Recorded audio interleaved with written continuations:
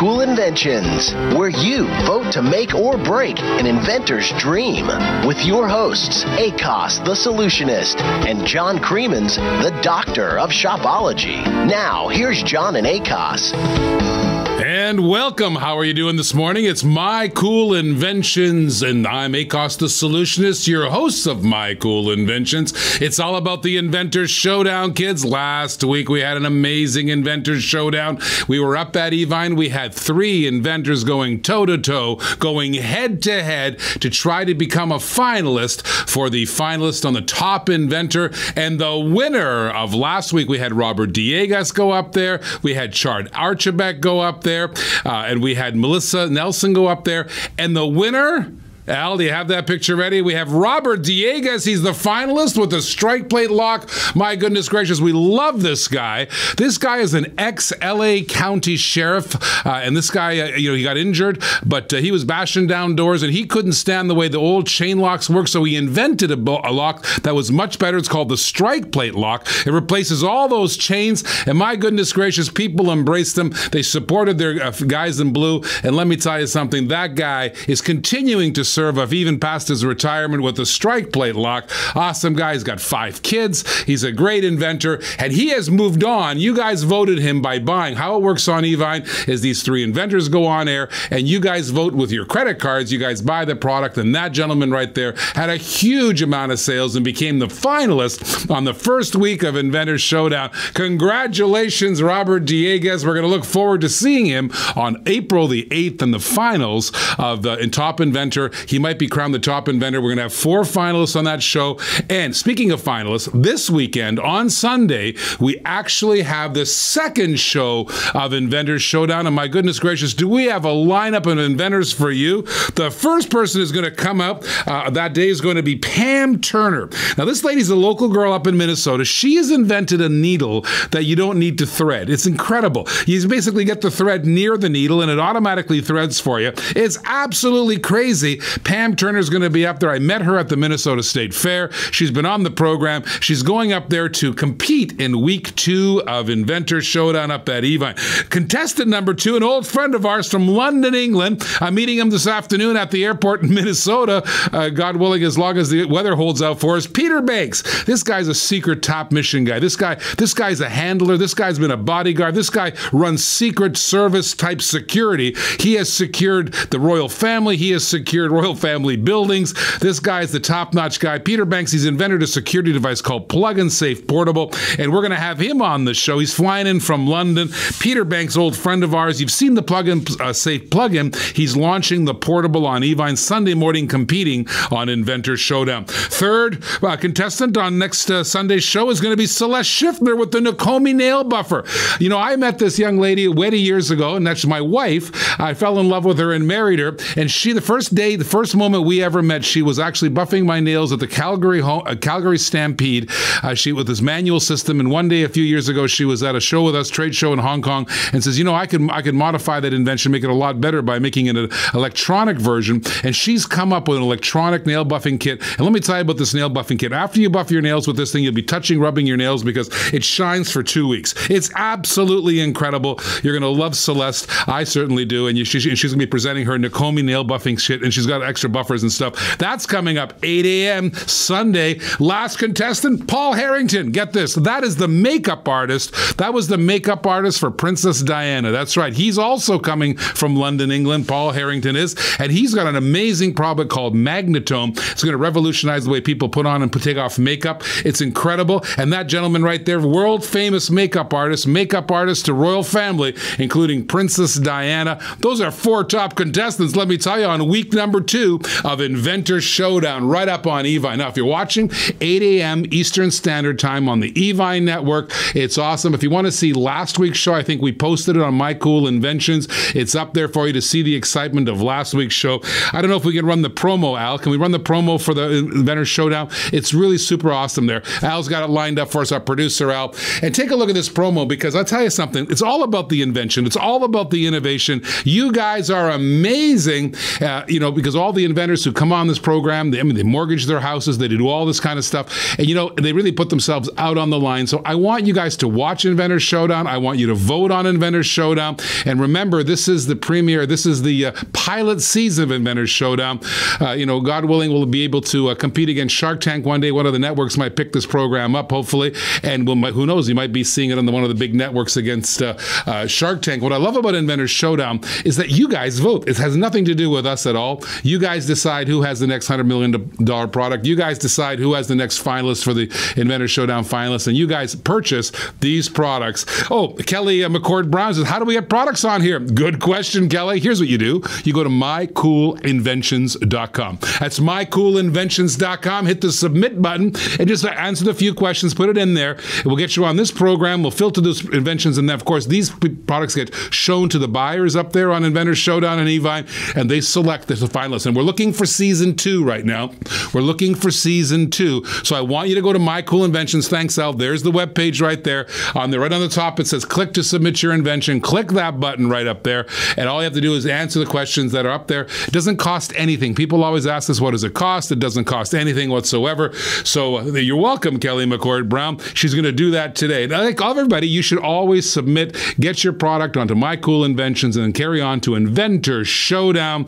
Uh, who knows? Maybe you have the next hundred million dollar product. Speaking of hundred million dollar products, we have an inventor for today, like we do every day. Our guest today is Tonis Tollasepp. I hope I got that right, Tonis. Tonis Tollasepp with his invention, the iSink 4 in 1. Welcome to the program, Tonis. Hi, pleasure to be here. Tell everybody what is an iSink 4 in 1? 4 in 1 really I developed to make my life easier in the kitchen. I was a stay at home dad, and I looked at why am I doing these things over and over again? There's food scraps in the bottom of my sink. I can't wash as I work because dishes are piling up. No one's helping me out, and it was just more of an endless chore, and I wanted to actually make my life easier. So it was an aha moment that, from, that, from that perspective. All right, so what I'm looking at on the video here, I'm watching the video. You have this sort of suction cup that goes on the inside of the stainless steel sink. You can do all your chopping and stuff, and it's a vessel that holds water. That's where you put your scrubbing device in, or drains out. I see. So you have, you have a choice of having it drain out or having it hold the water. What's the deal on that? So there's actually two vessels. So one has holes in the bottom, the other one does not. So the one without holes, I use to hold soapy water so I can continually wash. So something's come off the stove or I've got something that needs to be cleaned, I can clean it right away, get it off the countertop and put it away. So I'm not leaving things to the end of the meal.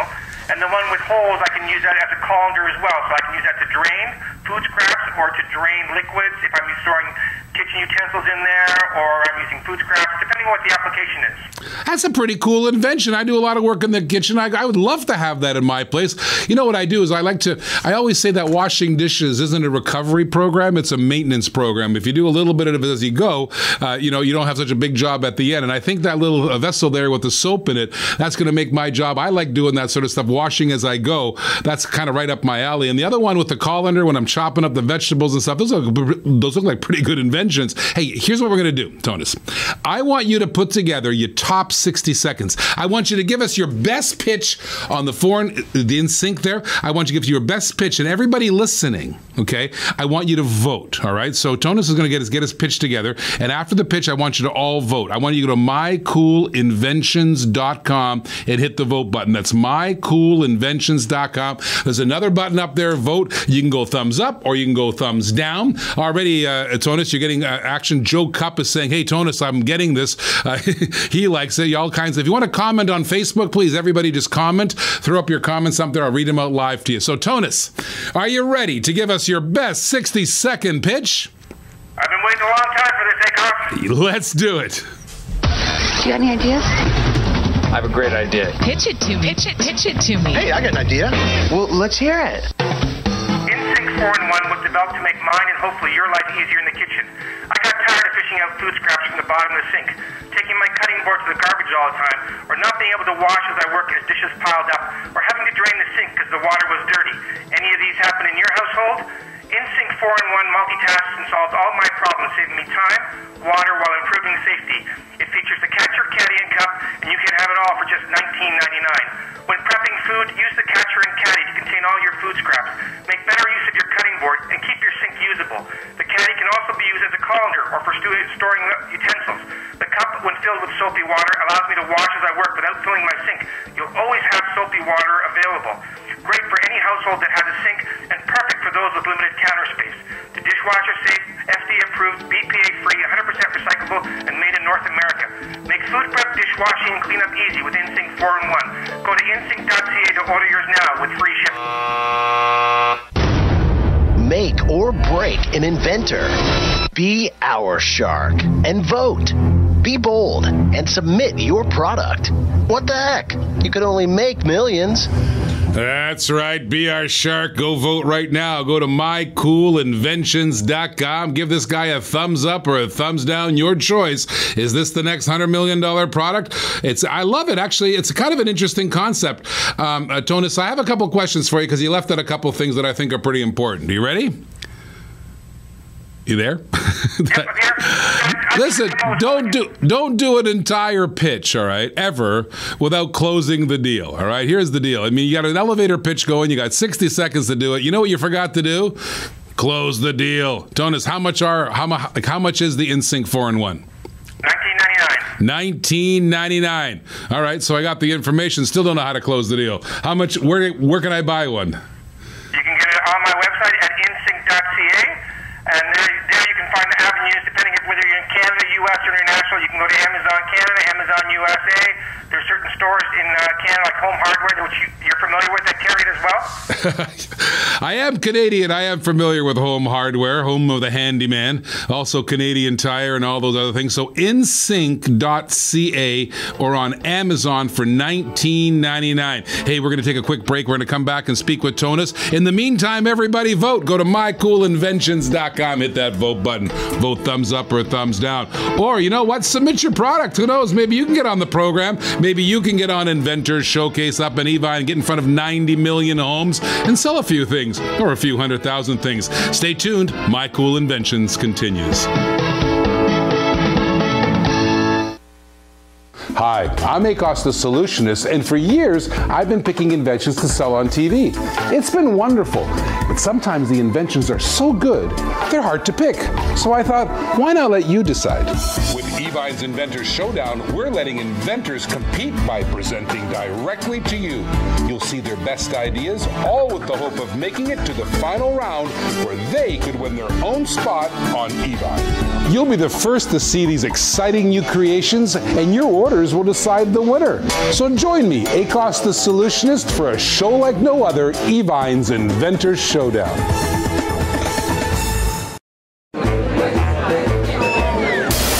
Are you kidding me? Loser! Stop. Stains are out. Stop the yelling with Stains Are Out. From zero to hero, thank you. Who was that banana man? Saving the world one stain at a time. Banana Man knows the secret and my stains are out. You can too at stainsareout.com.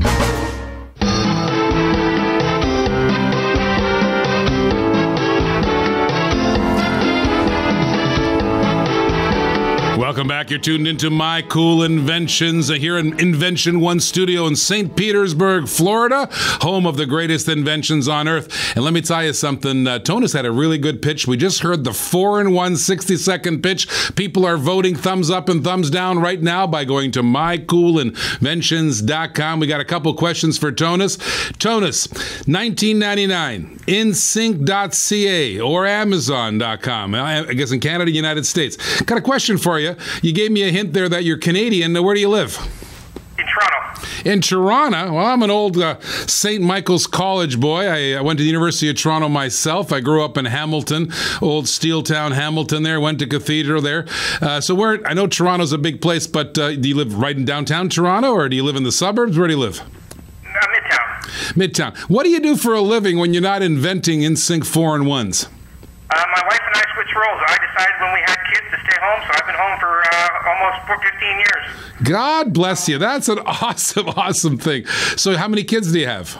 I got two. You got two kids. You're stay-at-home dad, consummate inventor. That's kind of cool. How long ago did you come up with the iSink Four in One? Probably about five years ago. It took me, uh, you know, the concept for me was I renovated the kitchen, came up with a single sink, and I said, how do, how do you wash and clean in a single sink? And why am I leaving things to the end of the meal? So of my old job was do core process analysis, so I really looked at how to do things because you know coming staying home with the kids doesn't come with a manual, and we found that no two individuals in the same household washed or cleaned the same way, which was interesting. So well, try to streamline that process. Well, if you ever find the manual for raising kids, let us know because uh, nobody has a manual for that. Uh, so you got two pieces in the four and one in sync. I get it now. Um, so um, do you have inventory for? I guess you must. You're on Amazon. Do you have inventory for sale? Yep. Uh, so I've been doing a lot. Last year was the real first year I, I started doing trade shows. So trade shows are really a lot of fun. Uh, positive feedback from the product, which is great from the customer standpoint. And uh, yeah, so product is available. Shouldn't you be at the National Home Show right now down there by the lake? Uh, you mean in Chicago? No, that, that's another one you should be at. That's the houseware show you should be at coming on the weekend. But isn't the National Home Show in Toronto running right now? Um, I'm not aware of it. Oh my goodness gracious! You should. There's hundreds of thousands of people visit that show. It's down by. Do they still call the Direct Energy Center? They renamed that thing since. Oh, the National Home Show. Yeah, that's coming up. I'm going to be actually at the home show in Barrie. I'll be at the home show in the fall, though. That's what I recommend to every single inventor. You got to get out to the home shows. You got to get your products in front of people. You got to get demonstrating because you get the feedback. You hone your pitch. You get to see what people like. You get to see what people don't like. Your presentation just gets better and better as you practice in a home show. It's like that book we always read about 10,000 times. Doing something 10,000 times makes you an expert. And if you're an inventor, get to a home show because you'll get quicker to the 10,000th pitch. And by the time you get to the 10,000th pitch, you get pretty good at it. So I always recommend inventors to go to these home shows. And the Barrie Home Show, I've done that one myself. I've done the National Home Show probably 20 times. We used to have eight or nine booths in there. Uh, it was a big, big production for us. But you know, you know, you could take out about a half a million dollars out of there. So it's always a good place to make money for the inventor too, and it keeps the inventions going. It keeps the inventory flowing. It's always a good thing for the inventors to go down there. So let me ask you something, Tonis. Do you think that this product is a live shopping product? Very much so, because it is. You can demonstrate, and I can show you. I've got a, a cutaway sink behind me, so you okay. can see the advantages.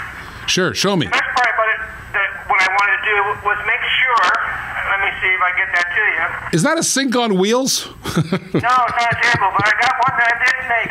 The nice part about this, it is functional in that you can take it off. Right. So you can only use one part of it depending on what you're doing. Right. The nice part with, with the soapy cup one is you can take it anywhere in the kitchen. So if okay. you clean the counter, the stovetop, the oven, it's always available.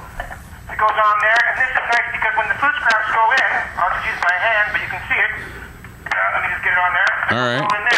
I full, see. I remove so, it. Right. Take it to the composter or garbage, and away you go. So the composter, we're going to have to tell all the Americans what that is. Up in Canada, all right, we have four different types of garbage. You guys have the garbage police out there in Oakville. We used to have garbage police that came by and gave us tickets for mis- mishandling our garbage. Do you have that in Midtown Toronto? Well, the Americans don't understand that. We have four different things, right? We have to recycle, compost, do all kinds of crazy things. So, um, so where? So you're making these in America or Canada? Where are you making these right now? We're actually making them in Barrie. So I wanted to make everything within a hundred mile radius of, of where I live. Make them in Barrie. So Barrie, my goodness, must be a plastics form up there. What's your cost of goods on it? Cost of goods for wholesale is uh, nineteen ninety nine. Sorry, nine ninety nine.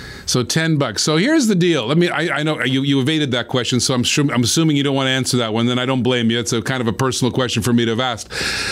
Can you put a configuration together that costs about one quarter of the retail price? It's. I could if I go. Let me just move these out of the way. I could if I go overseas in manufacturing. The difficulty is the nice part about it is it requires capital. So the more you produce, the lower your cost to serve. So, so you own the molds, or do you have to make molds in China? So I have the three design patents. I have the utility patent in, in Canada and the U.S. I own the molds as well.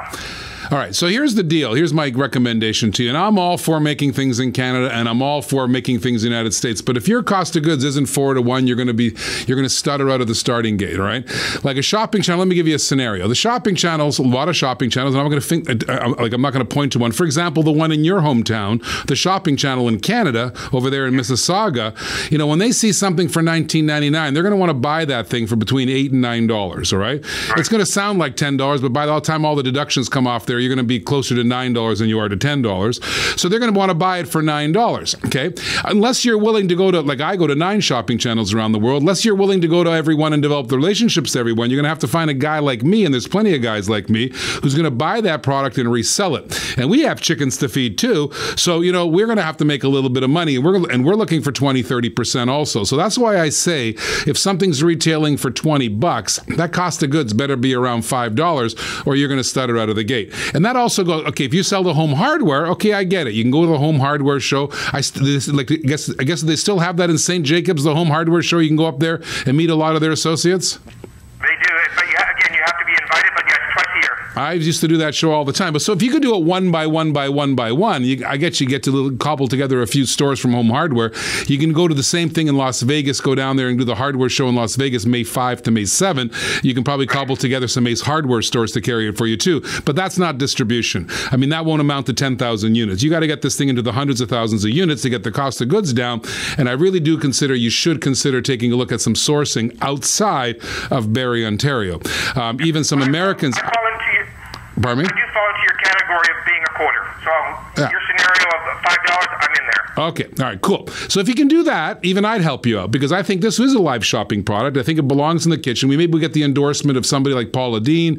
Paula Deen would be perfect for this, or Todd English, or any number of the uh, uh, chefs that we know and work with that endorse this. Or we could put this on Inventor Showdown, get it start there. For that, we're going to need a couple thousand units, and uh, you need to come down to Minnesota and go on air TV live. And if you're interested in doing that, we'll present this provided you have a big thumbs up vote. So get everybody, friends and family, to get your thumbs up vote. If you like the 4 in 1 sink, go to mycoolinventions.com right now and vote for this guy. Give him a big thumbs up or thumbs down. That's how we do things here. We filter the invention through this uh, uh, platform, and then we take it up to Inventor Showdown up at Evine. Round two submissions are being submitted right now, and uh, this is a good one. I think this actually, actually stands a chance. It's very demonstrable. It solves problems. I like products like that. I love the kitchen. The kitchen's a great place to sell stuff. Lots of kitchen gadgets I've been involved with, and this is a cool little kitchen gadget. Tonis, thank you for being on the program. That's an awesome product, and uh, good luck up in Toronto. I hope it's not snowing right now. No, it's uh, and overcast. And you're probably you're probably a Leaf fan too, aren't you? Um, I'm sorry to say no. Oh, good, because you know the Leaf fans, like my father, they've been waiting since 1960 to win a championship, and I remember that. No, 1967, I believe, with Bobby Baun and Keon and Mahovlich, all those guys, Johnny Bower net. 67 when they did win, so uh, I'm that era. I actually remember that game. You know, Bobby Baun played that game with a broken leg. I, I remember that game as a seven-year-old, and that's the last time Toronto people have had any championships in hockey. So good luck to you guys. Good luck, Tonis, on your invention, and everybody vote. Go to mycoolinventions.com right now. Go there right now. Vote thumbs up or thumbs down. Put your comments on Facebook, like our Facebook page, and if you're an inventor and if you haven't submitted yet, I don't know what you're waiting for. Go to mycoolinventions.com and submit. Who knows? Maybe you have the next $100 million idea. Hi, I'm Akos the Solutionist, and for years I've been picking inventions to sell on TV. It's been wonderful, but sometimes the inventions are so good, they're hard to pick. So I thought, why not let you decide? With Evine's Inventor Showdown, we're letting inventors compete by presenting directly to you. You'll see their best ideas, all with the hope of making it to the final round where they could win their own spot on Evine. You'll be the first to see these exciting new creations, and your orders will decide the winner. So join me, Akos the Solutionist, for a show like no other, Evine's Inventor Showdown.